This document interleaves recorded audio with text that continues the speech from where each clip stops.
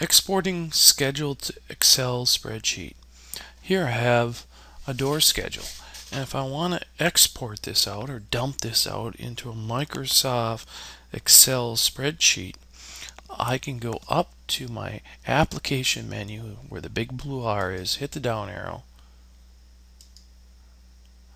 come down to export, and then scroll down and scroll down till I get to reports. And I want to uh, report out a schedule. So I click on schedule. It'll ask me where do I want to save this. So I got it in creating project details and schedules in that folder. I have my door schedule example and I'm going to save it as a TXT.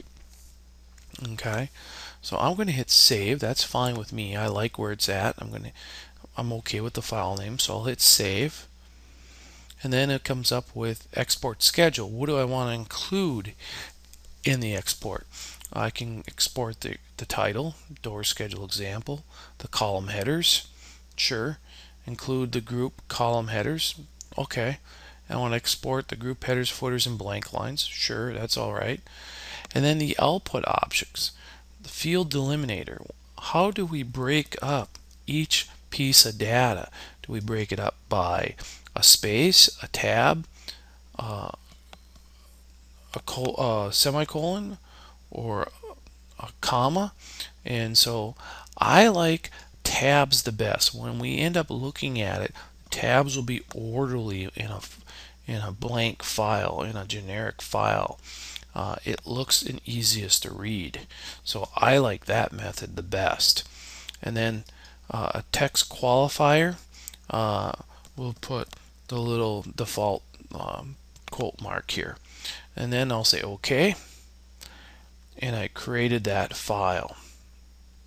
Now, I'll go into my folders here and I'll go to uh, I'll go into my architectural drafting videos and I'll go into here and then scrolling down here here's my door uh, schedule file right here.